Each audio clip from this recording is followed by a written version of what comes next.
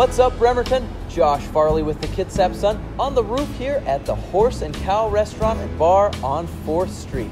They're just about to open a second floor, and I've got that story, along with my usual five, that you just got to know about happening in Bremerton this week.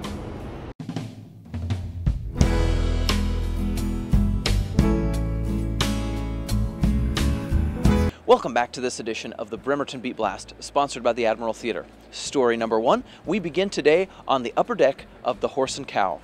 Most every night of the week, you'll find the Horse and Cow bustling with customers. The Horse and Cow's owners have decided to expand to this upper level. Here's what they've got planned.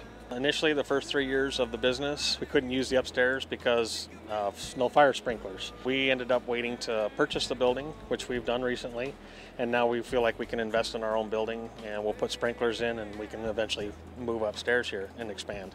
Well, the expansion is needed because on Thursdays, Friday nights, if anybody's been down here, um, it can get pretty busy and some people just look in and they walk away and we're, we're looking at that like oh, that's a you know, lost customer.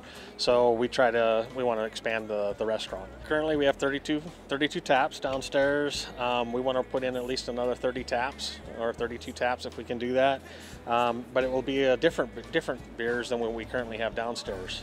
Story number two. At the tail end of 2017, the city of Bremerton purchased cameras for $9,200. These cameras were to keep tabs on the city's intersections viewed as high crime areas, and they've been installed on or near 6th Street at Park and Warren Avenues. They'll go live following an internal legal review. Well, I think they're going to be a, a, another tool in the toolbox for the police department. Uh, if something happens, they'll be able to uh, resurrect on the, on the camera. They're, they're good, solid cameras, uh, and they'll be able to see what happens. Story number three today. Remember how the Chimacum Ferry was giving its riders fits with regard to cell phone signal?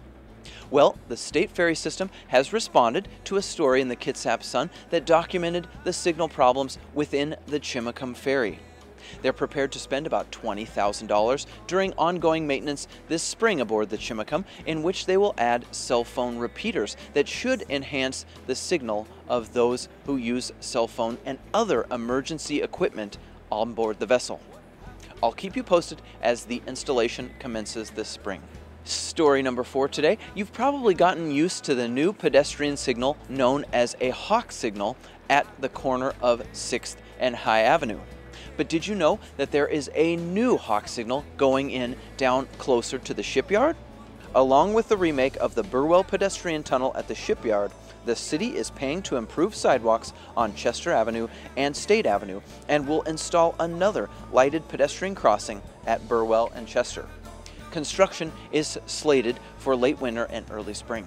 And finally, story number five today. A quick word of thanks to Micah Kipple, a geology student at Central Washington University, and the 320 or so of you who came out to our story walk at Ueland Tree Farm and specifically Dickerson Creek Falls.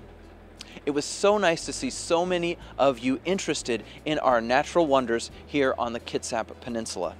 To access the falls, park at the end of Liebers Lane, then walk up the main trail going to the right at the first two forks. You'll see a sign for Dickerson Creek Falls, and you will be able to behold it just like we did in all of its glory. The Kitsap Sun will have a story walk each and every month for 2018, just as we have in previous years. That's going to do it for this edition of the Bremerton Beat Blast. Happy New Year to everybody, and we'll see you again next week. Música